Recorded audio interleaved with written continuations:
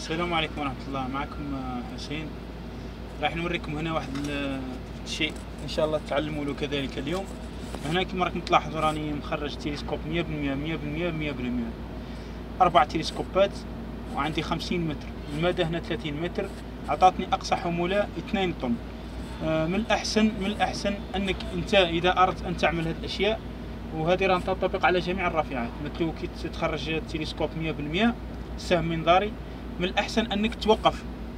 ما تصلش مثال إلى الحد الأدنى. مثال. أنا راني دايم في الفيديوهات أقول لكم اتبعوا جدول الحمولة. في هذه الم- المواقع ما ننصحكمش تتبعوا الحمولة. راني هنا مثال راني في المية بالمية. آه هنا عندي 40 متر. شوفوا عندي 40 متر. هاي اتضحت الصورة. أنا عندي 40 متر. أستطيع مثال أحمل 0.7 طن. في هذه 100 بالمية. أنا ننصحك هنا ما توصلش لهذا المكان ما توصلوش.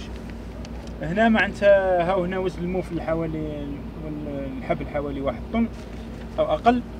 آه، ممكن ارتجاج ممكن ارتجاج يسقطك هنا. من الأحسن أنك توقف مثال في 2 طن ولا في 2.7 دائما دائما خلي مسافة أمان دائما خلي مسافة أمان. هي راه كاين مسافة أمان تاع 30% لكن أنت من الأحسن أنك تخلي ديك الم- تترك ديك مسافة الأمان. لأن هذه الرافعة راه في الهواء الآن. شوفوا راه التلسكوب هذا. راه في الهواء وقطعه في الهواء. قدر الله ارتفعت. راك ما تستناكش لا تنتظر تسقط مباشرة. هنا راه كذلك تلاحظ الميزان في هذه الأوقات لأنه ال- ال- الرافعة تبدأ تتحرك.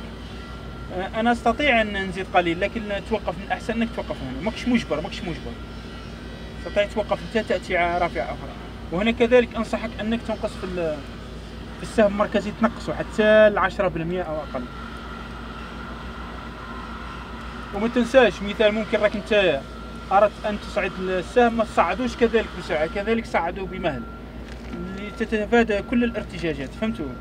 هنا ما ننصحكش أنك توصل إلى مثال 40 متر ما ننصحكش. توقف في الاثنين كما راني هنا 33 نعطيكم لماذا أنا مرة وصلت هنا 35 وعلى بالك وعلى بالكم أماكن أماكن تاع إنزال السهم كل مكان مختلف عن المكان. مثال هنا تنزل على هذه الرجل ليس مثل هذا الرجل. وهذا الإثنان في الوسط ليس مثل من الخلف في الوسط. كل منطقة وعندها عندها قدرة احتمال تاع ال- الوزن أكثر من أخرى. مثال إذا كنت من خلف جهة العجلة الخلفية عندك أحسن من هذه الجهة اللي راني فيها الآن. فهمتوا؟ آه. تستطيع بكل سهولة أنك ترفض العملية تلغي العملية. بكل سهولة تلغيها. قدر الله حدث شيء دائما يتكلمون يقولون الرافعة هو السبب نعطيكم مثال الآن فقط راه كلمني واحد قال لي راه سقطت واحد الأنبوب آه، في حوالي خمسة طن ولا مش عارف كم من طن المهم سقطت قالوا لي قائد الرافعة أنت اللي راك آه، سقطتوا أمس أنا قالوا لي احملنا هذه القطعة هذه. قالوا لي احمل هذه القطعة وهذه القطعة سألتهم كم الوزن تاعها قال لي الوزن تاعها خمسة طن. وأنا حملتها قبل نسيت الوزن تاعها ورا كنت رايح نح- ن- نجعلها في ذاك المكان. المهم لا علينا. جيت هنا بحثت على المدى وأخذت التلسكوب وجدت 24 متر 6 متر أنا. بديت أبحث عن 5 طن وجدت هنا هي 5 طن. 5.7 5 قلت في في نفسي لا علينا أحمل لهم القطعة. عندما حملتها وجدت فيها 7 طن. وجدت فيها 7 طن. لم أخذها والغيت العملية. قال لي لماذا ألغيت العملية؟ قلت لهم لأني في مكان هذه 24 طن وهي فيها 7 طن لا أستطيع أن أحمل 7 طن. معناتها التلسكوب راح ينكسر أو تسقط الرافعة. آه، الغيت العملية. المهم بدأوا يرتج يتوسلون. وقلت لهم المشكل مش في هنا المشكل في الرافعة.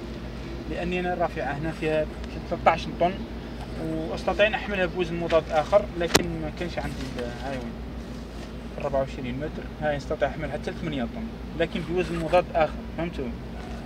بهذه الطريقة تستطيع آه، معرفة آه، قدرة الحمولة تاعك. آه، إن شاء الله بإذن الله هاد الفيديوهات راهم ينفعوا الجميع. ودائما نأكد على هذه الأشياء راني من حين لآخر أقول في نفسي راهم العمال يعرفوا هذه الأشياء. أمس عندها حوالي يومين فقط ولازم أذكر هذا المثال. جاني واحد العامل وعنده خبرة وتجربة حتى في رافعه المزنجره و... وما عندوش درايه بهذه الأشياء بالمدى وبالطول التلسكوب و... تستطيع أن تستغني عنهم لكن صدقني يجب أن تعرف هذه الأشياء. وبديت نشرح له أنا في المثال في المدى لقيته ما يعرفش المدى لا يعرف المدى. طول التلسكوب ما يعرفش طول التلسكوب. آه هنا مرافق التحكم يعرف يعمل بهم جيدا جيد جدا. لكن هذه الحسابات وهذه الأشياء ما يعرفهمش. من الأحسن أنك تعلم جدول الحمولة. راني كل مرة ندير لكم فيديو على جدول الحمولة. إن شاء الله آه، إن شاء الله راكم تستفيدوا والسلام عليكم ورحمة الله.